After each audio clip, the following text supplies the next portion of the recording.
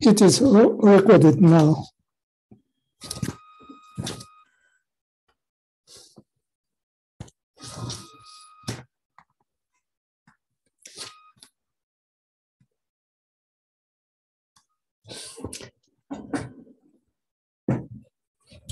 Okay, today uh, we consider elliptic integrals, uh, actually on elliptic curves, and, uh, which means that we are considering elliptic integrals over C, over the field of complex numbers. And uh, actually, the definition is the same. This is the elliptic integral. R uh, is some rational function, and uh, phi is a polynomial of uh, degree three or four.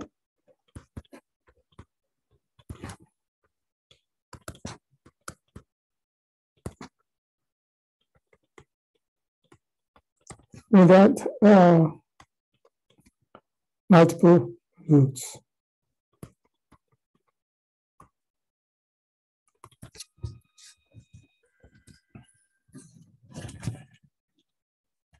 And uh, what is important here is that we are considering contour uh, on the former surface of phi. Well, this is uh, quite natural uh, choice because, uh, as we discussed, this function is a multivalued function over on, on, on the complex plane. So know, in order to uniformize, in, in order to make it single valued, uh, we introduce the Riemann surface of such a function. And uh, moreover, as we saw uh, last time, such an integral should be considered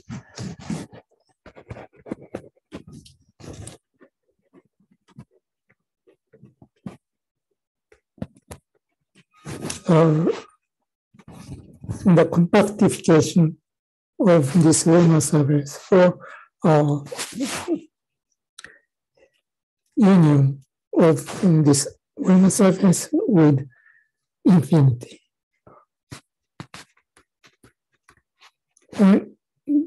Degree is three, degree of this polynomial three, we have to add one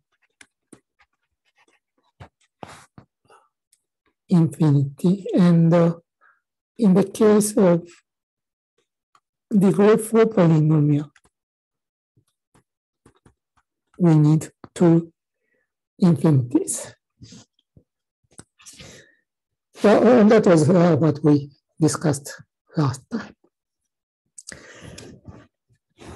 Today, uh, we first consider the elliptic integral of the first kind, which means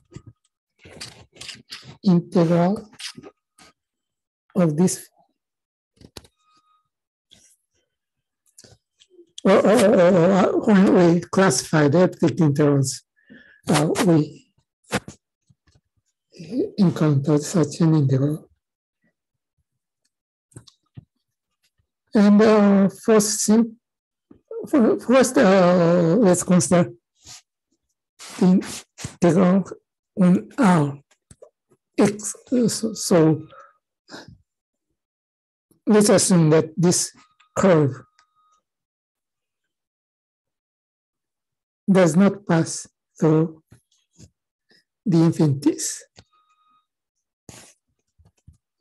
And in that case, as you have already solved uh, in the homework problems, uh, this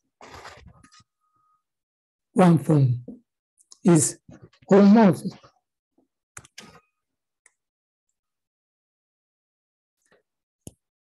Even when uh, W is zero.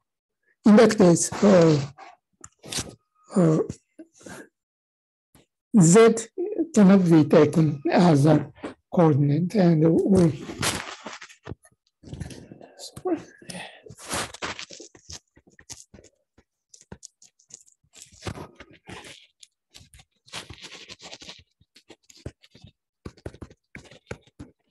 have to uh, write this form in this form, and uh, we can show that this part is a holomorphic function. So uh, on this Riemann surface, everything is okay, very fine. So uh, let's consider the infinite points or exactly speaking, neighborhood of those infinite points.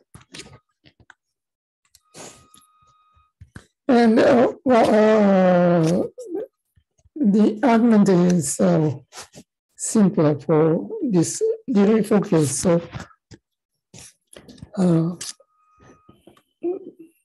let's consider uh, this case.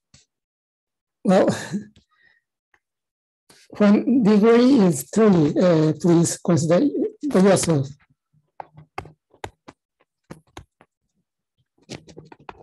You later uh, homework problems. And uh, what should we do in the neighborhood of infinity? Well, when there are two infinities, so, so uh, yeah, we need to fix one of them, but uh, well, uh, actually uh, the arguments are the same for both uh, infinite points.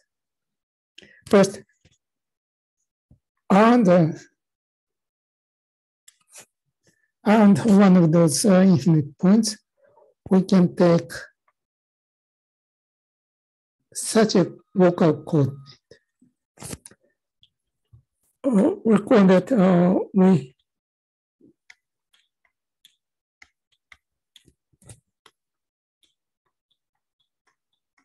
constructed elliptic curve by gluing two P1s, Riemann spheres. And we are considering neighborhood of such points. And uh,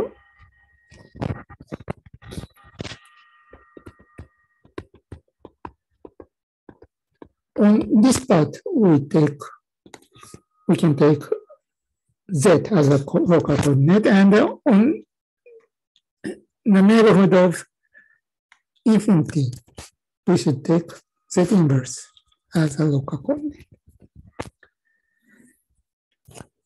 And well, as we saw last time,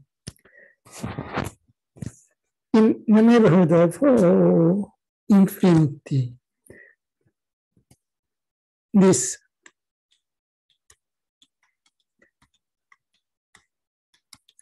elliptic curve can be defined by such an equation where eta is another variable.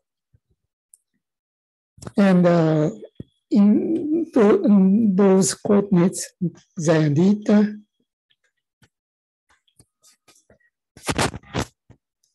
uh, infinite points are defined by such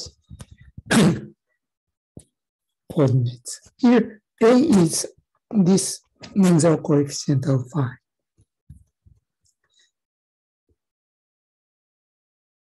Well, from this problem, but such a one form xi is, of course, uh, interpreted as this, and omega 1, which was defined by dz over w or dz over phi, the square root of phi is uh, equal to this. Uh, it's easy to say because this is and this is w z minus yeah.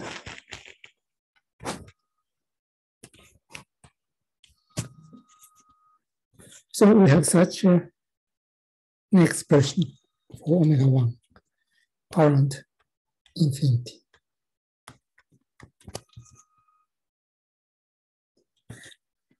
Well, uh, the point is that the denominator eta does not vanish around infinity.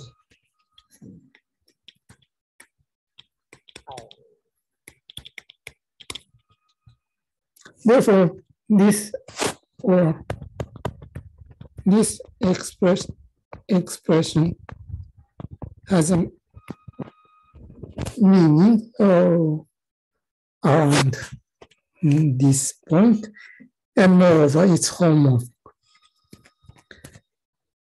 Therefore, uh, omega 1 or this one form is holomorphic one form.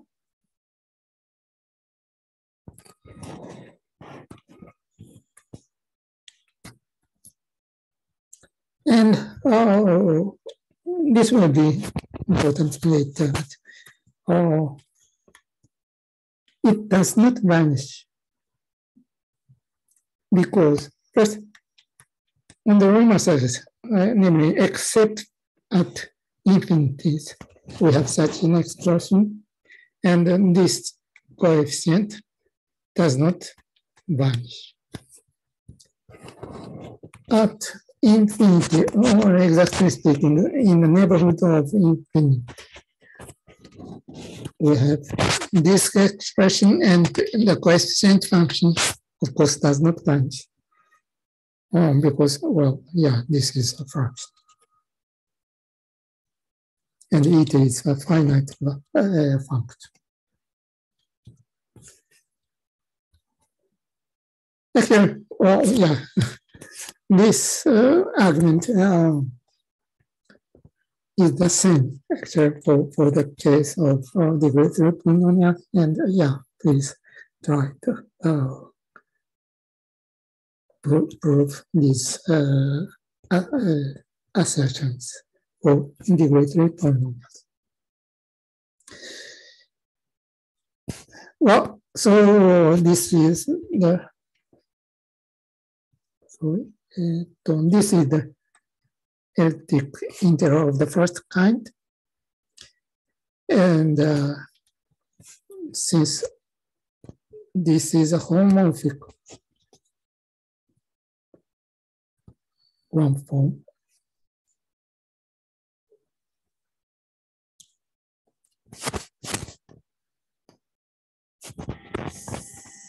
such a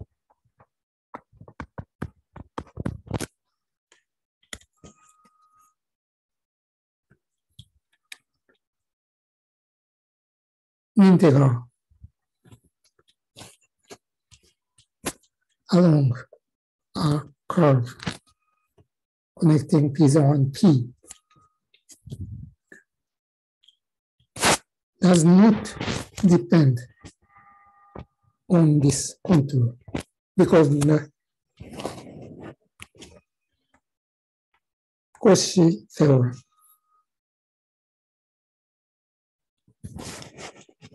Mm-hmm. as you know, or for example, on the complex plane, if f is an entire function, then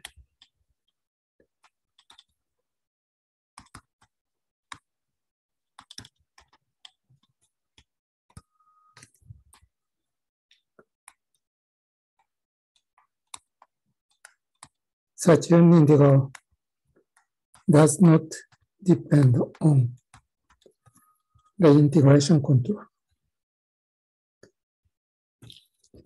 In this case, in this elliptic uh, case, two this holds with one very important condition. If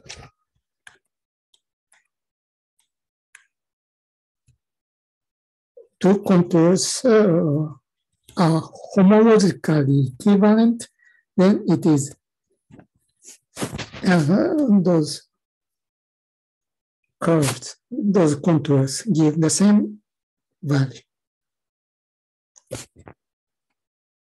Uh, what does this mean? This means that uh, essentially our two curves bound some domain.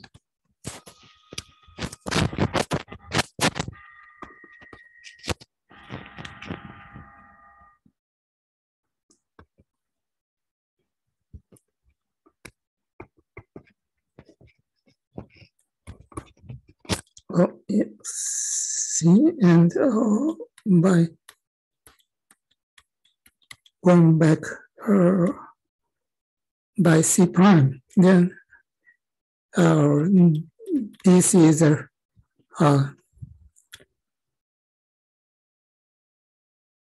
closed curve, of course. This is always true, but uh, if this is a bundle of some region in this uh, on this X curve, then oh, they are the, these intervals are the same. Now, yeah, no, we can uh, apply the Cauchy's integral theorem directly. But if okay, uh, C is something like this, and C prime is something like this, then this does not hold.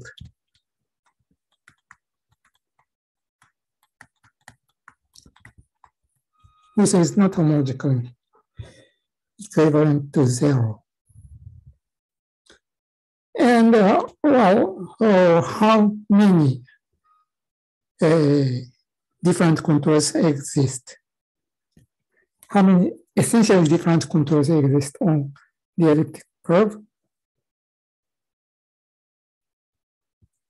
Such a question can be answered by topology or homology theory in topology. Well, we do not go into details, but uh, probably you know uh, this kind of argument, right? Uh, there are two essentially two curves on elliptic curves and uh, on torus, uh, which generate uh, the homology group.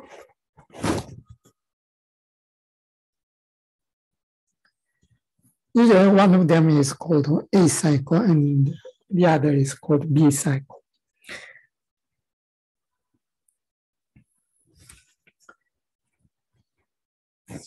And uh, well, yeah, this means that uh, any closed curve is homologically equivalent to uh, uh, a linear combination with integer coefficients in each one in the first homology group.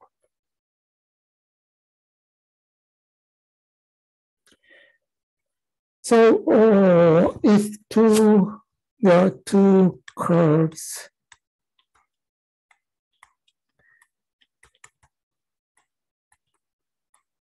For example, C0 is this, C1 is something like this.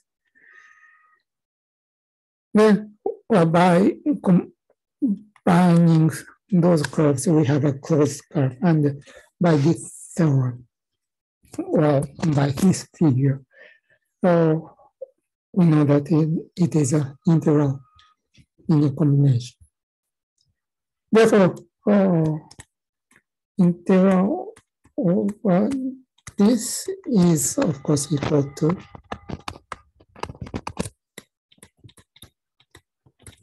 this, so, so we have such a equation.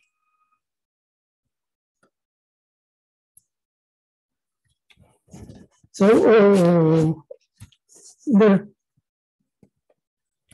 value of the elliptic integral is determined by the elliptic integral of the first kind, I should say, is determined up to this ambiguity.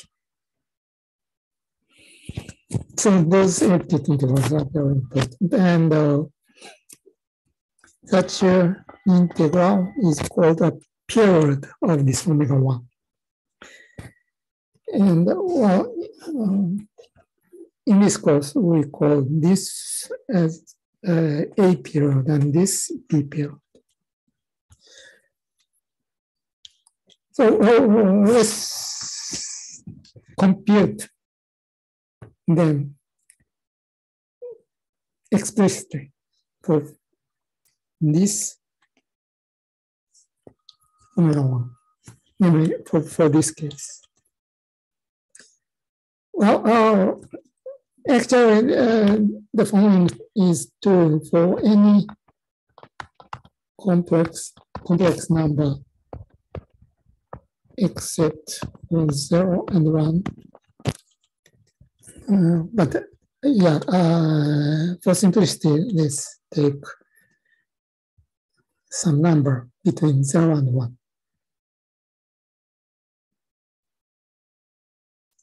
Or to compute A and B periods explicitly, uh, we need to uh, define A and B uh, explicitly. And uh, yeah, recall uh, how did we construct such a such an elliptic curve? Well, yeah, as I told you, we glued two P1s. And uh, we made two cuts here and here and glued them in this way. So this e corresponds to what? Uh, one and oh, oh yeah, this.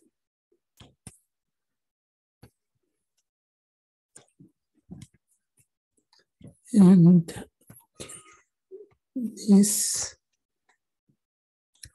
is this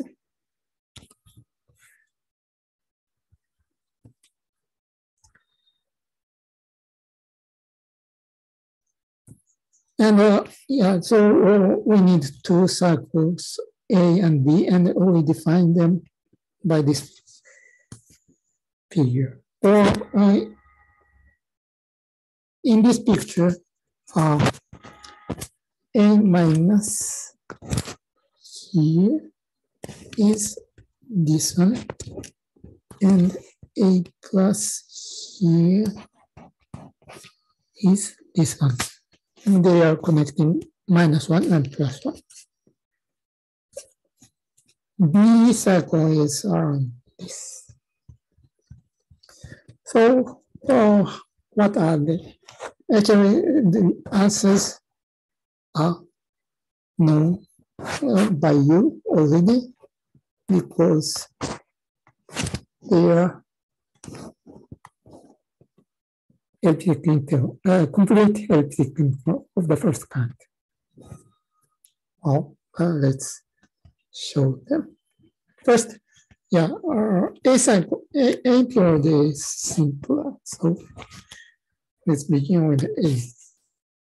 What is this? This is, as you see, this one. So we have a cut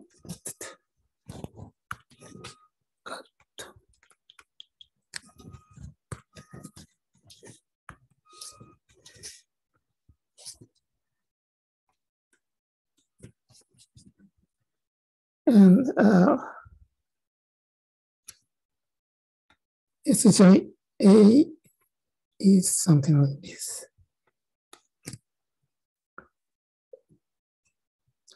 Or, or A minus is from minus 1 to plus 1 or maybe uh, I put the different sign yes or a plus this is a plus a and we go back from 1 to minus 1 and um, the important point here is this sign here is actually a cut. So when we go around here, the square root changes its sign. So uh, this is uh, this sign uh, comes from this point. And uh, in this case, uh,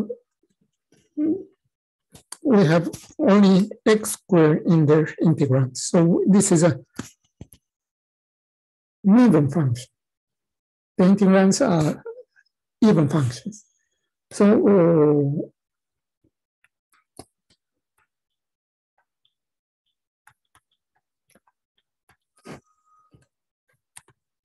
we can reduce this integral as a twice of an integral from 0 to 1. This becomes minus 2 from 0 to 1. And with this minus sign, we have plus, and so we have 4. And this is the complete elliptic integral of the first kind. The second one is a little bit more complicated. we have a cut here and we integrate something from here. Oh, in 10 minutes, so we have to uh, change uh, the Zoom link. Uh, so please be prepared.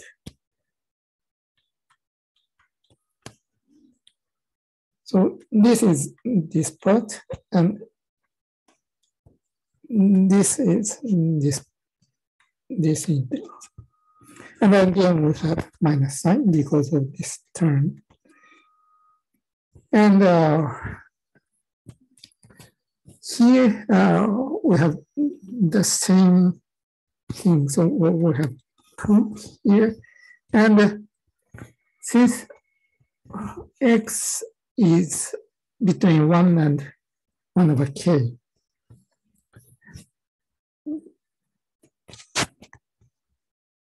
This is always positive, but this is negative. So uh, we change the sign and uh, we get I here. Well, this can be uh, reduced to this thing, but uh, well, uh, that details are not very uh, important, not very interesting change of variables. So, so please uh, believe me, uh, this becomes this. One important point here is that uh, I just said that here we have i, but why it is not minus i? Well, uh, actually, it could be because uh, if we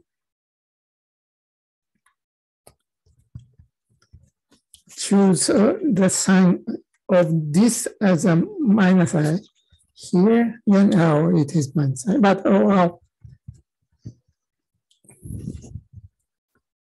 yeah, when this choice uh, we have to i, and uh,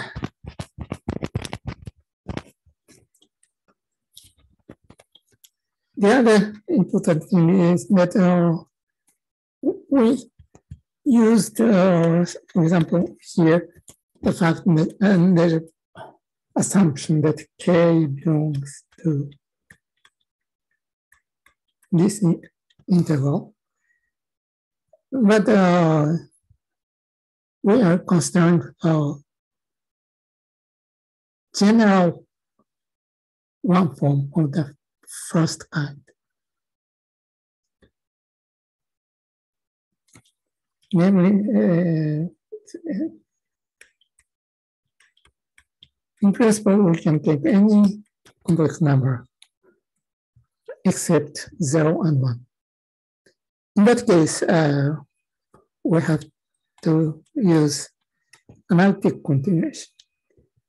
Well, yeah, uh, we can uh, trace uh, the, the, how we can uh, analytically continue this integral, but uh, well, here, uh, what we want to see is that uh, complete elliptic integrals appear when we compute uh, pairs of this omega 1. So, uh, yeah, please uh, allow me to skip those details. Well, what is important? Why did we compute A and B pairs? We called it on the cylinder, which was a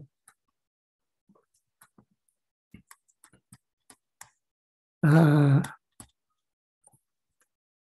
Riemann surface for, for this function, uh, the period around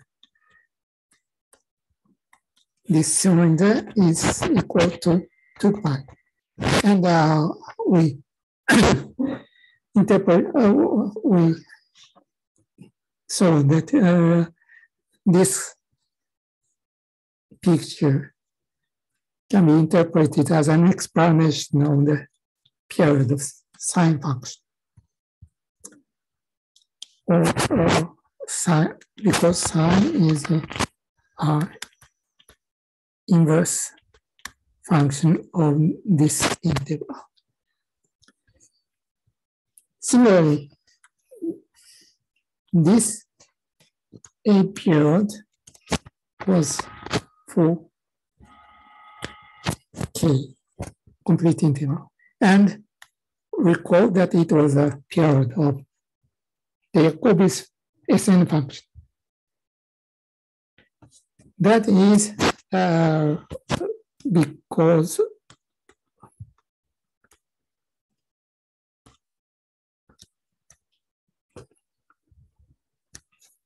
of uh, yeah the, the reason is the same as this fact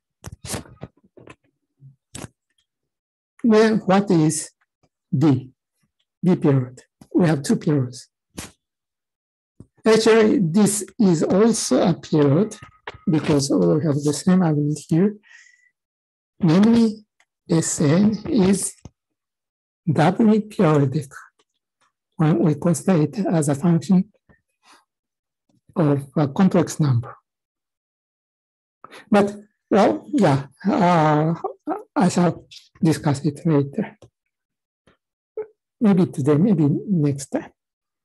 Anyway, uh, what we have proved is that this elliptic integral defines a holomorphic function, at least locally. And if we consider it uh, globally, then it is multi-value function. But uh, quite explicit form. So, yeah, in this way. Multi-valuedness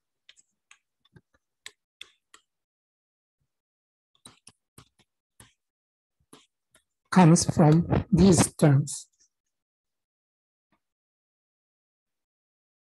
So that, that is an important fact uh, which we shall use it. Well, so next target is this elliptic integral of the second kind. Well, uh, as we saw, we have three kinds of complex, uh, sorry, elliptic integrals. The first, the second, and the third. This is the second one.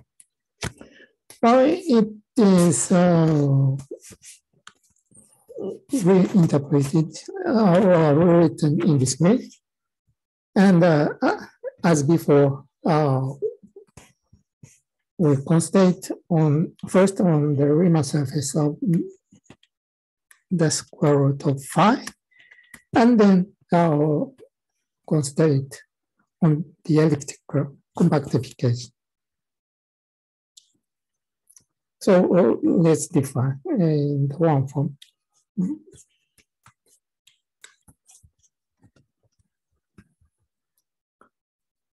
Oh, it is easy to see that it is a holomorphic form because, yeah, as you see, this is a holomorphic function when at least when W is equal to zero, and uh, when W is equal to zero, then we have to choose the local coordinate and the dif uh, different local coordinate W, and uh, which uh, when we write this in this form, this part is a holomorphic function. So it is a holomorphic one form on this Riemann surface. And how about the infinities? Well, the, the argument is